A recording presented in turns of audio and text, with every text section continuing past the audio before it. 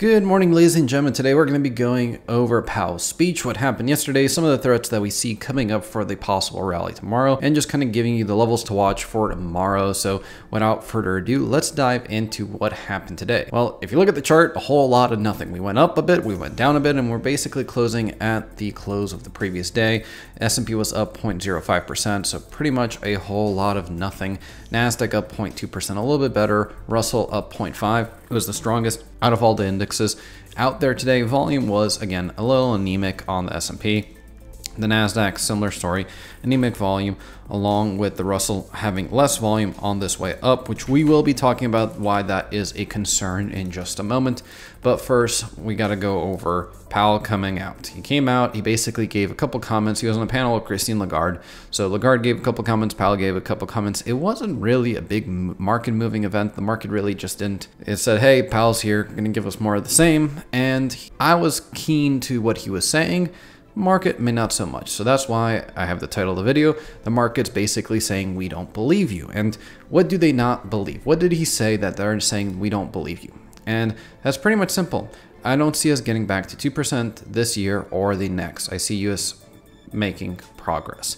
So what does that mean? It means no rate cuts. Similar going back to, if you guys remember his comment from the previous FOMC meeting that participants don't see rate cuts in 2024 even possibly. So again, this forecast, this crazy forecast that we're going to get rate cuts this year is so out of what the Fed is seeing. Now, fair warning, we could get rate cuts. When the economy falls off the dang cliff, you'll get your rate cuts this year or next year.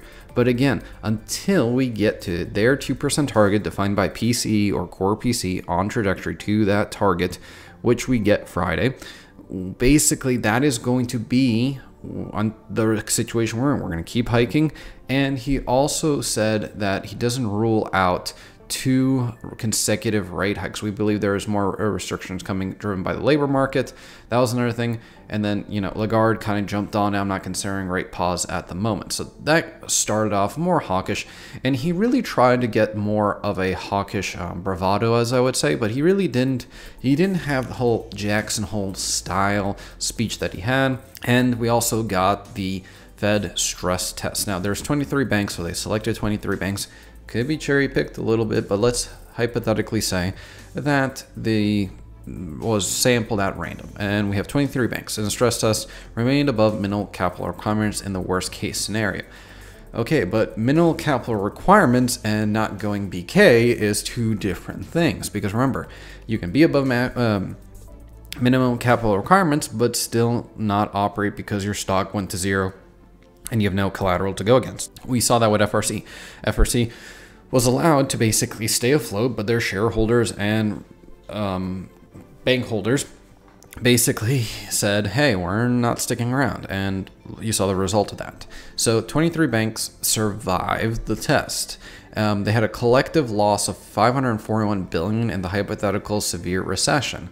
And again, guys, I keep going back to this until I'm blue in the face, is that the yield curve is basically coming and trying to retest all-time highs. So this has been since 1969 the predictor of every single recession, downturn, correction, whatever you want to call it. This thing inverts, you get a massive, massive crack. And just to put in perspective, the white line was the 2008 bubble, the uh, dot com was 0.0. So bad things basically happen when we get above these levels. And right now we're basically nearing all-time highs. So if you were a stock trader and basically trade stocks as it get to all-time highs, get blue sky breakout, well, you'd be pretty bullish on this move. So you don't necessarily want to be bullish on the yield curve inversion going to new all-time highs just because well, it kind of spells bad things for you, especially a lot of bad things happening. Everyone remembers 1978, which was the 24% crash in the market that basically was the Black Tuesday or famous Wolf of Wall Street, any kind of movie that revolves around that type of things. So again, we have to be cautious when we get to this level. And if you guys are enjoying the video so far, possibly consider uh, subscribing to the channel. It really helps us out. And throw a comment what you like, what you didn't like, kind of give us your feedback or wait till the end of the video to see the whole content. We really do appreciate your comments and possibly hit a like on the video. It really helps fight the good fight against the YouTube algorithm. So again, thank you so much for your support. But again, what are the threats for us the following day? And that's pretty much going to be GDP and Powell talking. So Powell could come out and give us some more hawkish news. He was really trying to be hawkish, but again, the market doesn't believe him. And why do I say the market doesn't believe him? Well, quickly jumping over to the Fed CME tool, and you guys, this will be linked down in the description below. You can pull it up. It's a really good tool to understand what analysts are thinking, and kind of this is what I consider price into the market. Right now, we only have one rate hike price in the market, and possible cut at 21% and possible another hike at 21%. So basically no two rate hikes, no three rate hikes even priced into the market. So therefore, if the data keeps coming the way it is with PCE on Friday, we're definitely going to have some turmoil in the market. And Powell did today say he is not ruling out one, two rate hikes, two, two consecutive rate hikes. So you're not going to get the pause, hike, pause, hike. You're just going to get hike, hike. Or you may be in such a bad situation, you may get the crazy, let's jump 50 basis points. I don't think that scenario plays out because they know something's breaking. Powell is scared, in my opinion, to raise rates because they know they're going to break something. They're looking at this and they basically say, okay, GDP 1.4. If this comes in anything sub 1, it's flirting with negative numbers next quarter, which is Q2, which we get around Q3 around September. When a lot of these regional banks, I do believe in Q2 reports are going to see some carnage. I'll be pretty surprised. And then here, I'm okay to be wrong. I'll admit when I'm wrong. But I do think the regional banks have more pain ahead. Warren Buffett has said he thinks another leg is going to drop, and the guy's been around investing longer than I've been alive. So again, listen to people that have been around the block and especially know and have basically results. So again, we got Bostic speaking, not a big market mover. Again, core PC expect to come in flat along with the month over month and an increase in the year over year number. Remember, the year over year number is the volatile. This, if the Fed looks at this, basically means that they're not doing enough and they may have to do more. I think CPI, if it starts ticking up, the Fed's really going to have to ratchet back up to more consecutive rate hikes and possibly even more than 25 basis points. But again, I think he's really trying to stick to that 25 basis point hike is just what the terminal rate's going to be. And when does the market start repricing that? If we look at the market today, it's basically a range bound day. I told you guys yesterday that until we get back above that 438, 37 level, don't start playing the bullish train because this is a doji candle. It means indecision. We basically had a gap down push up, broke the high, so we had a breakout from the previous day, failed to hold below the previous day's high. However, we are above the close of the day, so there is more bullish sentiment or bullish skew in the market versus bearish skew in the market. So again, we have to be cautious, but remember, 438.37 and 432.47 is your numbers to pay attention to until we get a rotation from one of these. If we start coming back down towards this level, I may be looking to for a break at this and playing the break all the way down to the 430 to 428.58 level. That's where I'd be looking to see more price appreciation in the market with the NASDAQ. We're in a tighter range on the NASDAQ, so that means that we have more susceptibility to the breakdown lower or higher. We closed at the day's highs from yesterday above the close again. So we are starting to see that possible rotation, but again, we could be A to B, B to C, like on the way up, or A, A to B, B to C, like on the way down. So nothing has necessarily played out, and I don't think you're gonna get that to play out until you start breaking these out ranges here. We could have a consolidation week, and honestly, going sideways is bullish. You're basically not getting the price to for the bulls to buy in, so they're gonna have to pay a higher premium, which then pushes the market up higher. And then you have the bears that don't get to close out their position for a net zero, they have to take a loss. So again, sideways action is bullish. We've seen that pretty much historically here. Sideways action, bullish. Sideways action down, bullish. Sideways action, bullish. Sideways action, bullish. So again, if you see a lot of even here sideways action bearish but then followed by a bullish rally and any like one of these dips dip and then rocket up dip rocket up dip kind of rocketing up right now but i'm not totally convinced just because the volume has been pretty anemic at this level so we have to look at some of the leaders and we're going to quickly run through them just to give you guys a sense apple pretty much strong pushing ahead hasn't broken this uptrend Microsoft consolidating around this level, but could be forming possibly head and shoulders here. So we have to pay attention or be on the warning signs for that. But then I'd be looking at the 50 day moving average as an area that I might want to buy. Microsoft or play the bullish side of it, maybe come back for this gap fill to the downside. So again, come down, retest, bounce off, head higher. That would be pretty bullish for Microsoft, especially because you fill this gap, you really don't have a lot of threat of the gap fill, and then rotate higher, especially finding support on one of your moving averages. Goog, bounce off the 15th, nice move today. Gap down, defended it, pushed up. This is definitely looking bullish. Now the first test probably going to be at that 123 area.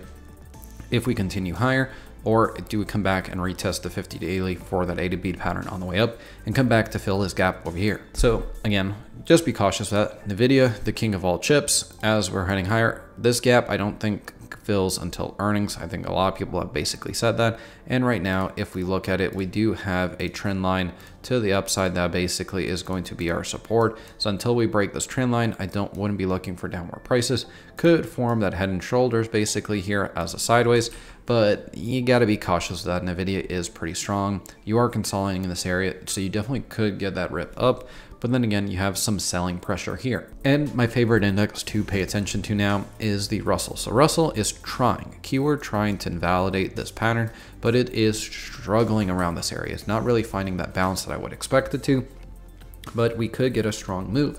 However, the Russell, if it doesn't pretty much break this upper consolidation here of the 188 mark in the next week or so, I definitely be looking for that head and shoulders to play out it's a pretty obvious bearish pattern on the Russell, and the Russell is pretty surprisingly only up a very small percentage compared to the rest of the market. If we look at 2023, roughly, we're looking at it's only up 7.59%. So Russell kind of lagging behind all the markets. And then again, as we all talk about these regional banks, they are consolidating on the 50. You played around the 50 day moving average on KRE for quite some time. You don't have two candle basic closes in my opinion above this level. You got your first close today here the second kind of but it's i don't like how it's basically violating this area. So i want to see that volume come in and start pushing up higher if we fail to hold this area and keep basically breaking through it on a daily basis, I definitely could see some more bearish action, especially with the stress report showing massive losses in the banking sector. It doesn't give a lot of people encouragement that if you get that recession, which the bond market is basically screaming at you that you're going to get, you could see more downside in the regional banks, especially if PCE comes out bloody or GDP comes out lower than expected definitely could see carnage in the sectors. So we just have to be cautious about these things. We don't necessarily have to base our whole trading strategy off of it. So again, play it how the chart is. If this starts ripping up, you play the regional banks bullish. If it starts ripping down, you play them bearish. It's pretty simple. We did fill this gap back here. So again, they don't have a gap fill, but you definitely have the possible rotation to the downside on the regional banks. And that could definitely drag the S&P down lower. But yet again, just to recap for everyone, 438, 37 is where I go bullish in the market. 442, 47 is where I go bearish in the market. Anything in between, you pretty much sit on your hands. And then if it breaks above or below that level, depending or comes right back through it, then you know where your stop loss needs to be placed. And then for the NASDAQ, basically 360 and 368.32 is where I'd be looking for the bullish and bearish levels. So again, until we break those levels, I wouldn't be necessarily playing the market. I'm personally not playing the market right now just because I want to see how all this GDP, PC, and Powell shakes out. And just to give you guys a preview of what next week could have in store for us, we definitely could be in for a doozy. We have ISM manufacturing. Tuesday is a holiday Independence Day, so market won't be trading. Wednesday, we basically have factory orders, and then we get ADP non-farm payroll. So the following week is job uh, numbers JOLTS on Thursday, and then our hourly earnings on Friday. So again, we definitely could see some interesting data for that the Fed is going to be considered. Are we getting a cooling in the labor market? And again, just a friendly reminder that this week, we on Thursday, today, you guys get initial jobless claims at 830. So that, let's see if they're expecting at 266, previous 264. Do we get the 270? Do we start getting the acceleration in the jobless claims to when the market starts deteriorating? When I say market, I mean the economy. the, when the economy starts deteriorating because jobs usually have a pretty quick acceleration going into the recession slash crash. So we have to keep an eye on that. And remember, the market is in a very unstable point just because VIX is basically nearing or going sideways.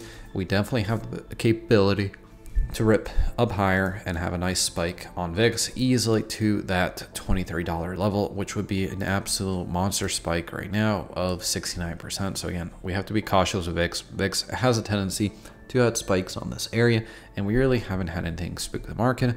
Could PC or GDP spook the market tomorrow? We have to find out and basically see how it all plays out. So I thank you all for watching and hope you have a wonderful day. And I hope to see you all here for Viewer Request Ticker Friday tomorrow.